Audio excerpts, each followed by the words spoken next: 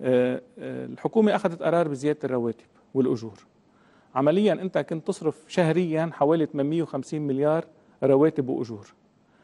بالمضاعفة الرواتب أنت عندك حاليا تقريبا حوالي 2500 مليار. 2500 مليار هاي الزيادة انعملت من تاريخ تشرين الأول. أنت بآخر السنة مطلوب منك تصرف حوالي 7500 مليار ليرة. الحساب الجاري لوزارة المال بمصرف لبنان 8000 مليار ليرة. انت عم تحكي عن 40% من مصاريف الدولة مش عم تحكي عن كل مصاريف الدولة. بس رواتب 40% انت بتوصل لآخر السنة خلصت الحساب الجاري. شو بدك تعمل مقابلة؟ هون السؤال. الدولار الجمركي التعاطي معه بدلك كمان على إنه ما حدا بيملك رؤية استراتيجية مالية. في ارتجال تعبر عنه بأنه نحط له تاريخ رجع نشال التاريخ نحط له سقف مالي رجع نزل السقف المالي. عمليا التجار شو عملوا؟ خزنوا وجابوا البضاعة على ال 1005 بكرة وقت اللي بيصير على ال 15 بيجوا بينزلوا.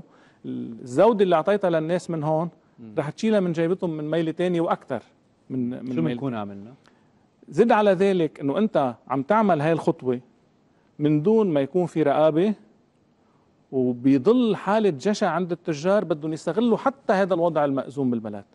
البنك الدولي بال 2019 قدر الهروب من الرسوم الجمركية بين 800 والمليار دولار.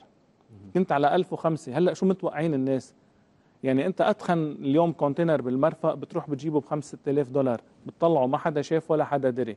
هل الدولة أخذة إجراءات فيما يتعلق بموضوع المعابر كلياتها؟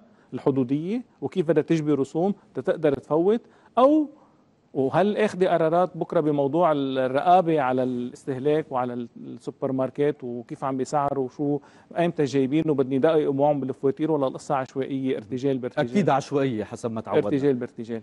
آه لذلك أنا عم أقول في معضلة هاي المعضلة معناتها إنه رياض سلامه بده يطبع بده يطبع يعني في تضخم بده يرتفع سعر الصرف وهذا الواقع الاقتصادي طلوع ونزول واللعب بهذه الهوامش رح يضل مستمر عمليا. لحزيران تموز 2023 ليش لحزيران لأنه؟ بدك طالما رياض سلامه هو حاكم مصرف لبنان المركزي عمليا لا رح تروح على صندوق النقد ولا في حلول جذرية نهائيا. رح يضل وضعك الاقتصادي لعب بالتعميم ولعب بالصياغات الاقتصادية الملتوية.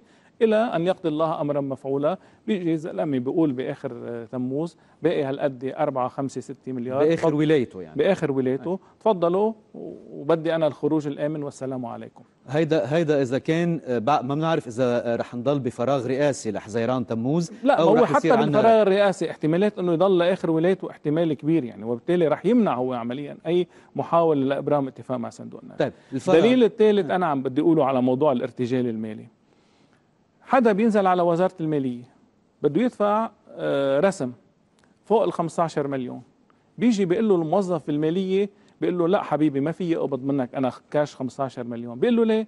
بيقول له في قرار بالوزارة إنه فوق ال 15 مليون بتروح لعند زميل اللي قاعد هونيك موظف بشركة اسمها وش ماني بتروح لعنده بتقول له هيدي الشركة بتاخذ منك المصريات الكاش وهو عم ياخذ منك الموظف اللي موصول بال system الإلكتروني للوزارة بياخذ منك المصريات وبيقول لك أنا ما عم باخذ منك شيء نهائيا رسوم أنت عم تدفع كل المتوجب وما في عليك رسوم نهائيا للدولة. هذا ال wash money بياخذ هول المصريات الكاش بيرجع بيعطيهم بحطهم بحساب المالية شو؟ تشيكات. أنا بدي أسأل سؤال. يعني شو اللي بيخلي موظفين قاعدين حد بعضهم؟ واحد بيقدر يقبض 15 مليون واحد, واحد ما بيقبض 15 مليون.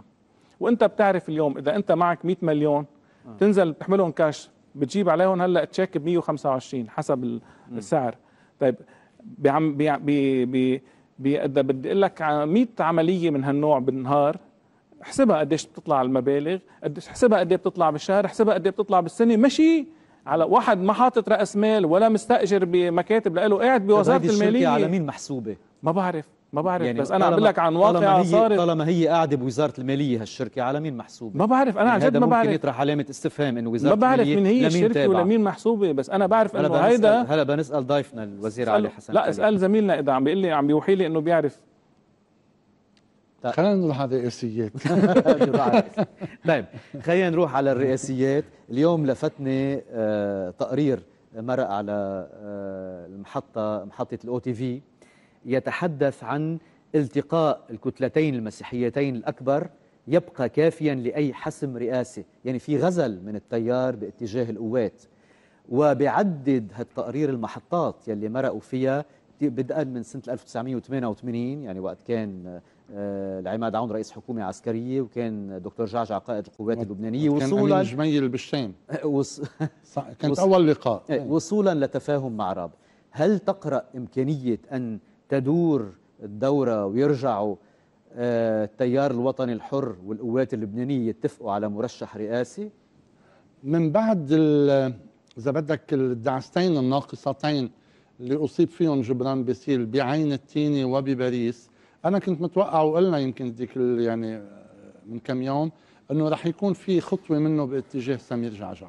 بتكون علنية بتكون بعيدة عن الإعلام بتكون مباشرة بمبادرة رئاسية أو بتكون مجرد حوار لجس النبض. بدنا ننطر ونشوف. هلأ بيبقى السؤال إنه وين بتوصل خطوة من هالنوع؟ أنا بتقديري ما بيكون عندها أفق. لأنه آه، مطرح ما راحوا اثنين يعني. إن كان سمير جعجع أو جبران باسيل وصلوا إلى آه، بيقولوا قطعوا الروبيكون صار في صعوبة إنه يقدروا يرجعوا يعملوا اتفاق خاصة وإنه يعني الاتفاق على مين؟ الاتفاق على الأسماء اللي أصلا مطروحة لو إنه حدا منا في إمكانية للاتفاق عليه كانوا اتفقوا عليه أفرقاء آخرين. فالأسماء مفروزة بين اثنين بشكل كثير قاسي بتخليك تقول إنه من الصعب جدا بل نكاد نقول من المستحيل إنه توصل لمطرح. إلا إلا إذا كان باسيل يريد من هذه المناورة مرة جديدة زيادة الضغط على حلفائه وإيصال الرسائل إلى حارة حريق عبر آه، معرض.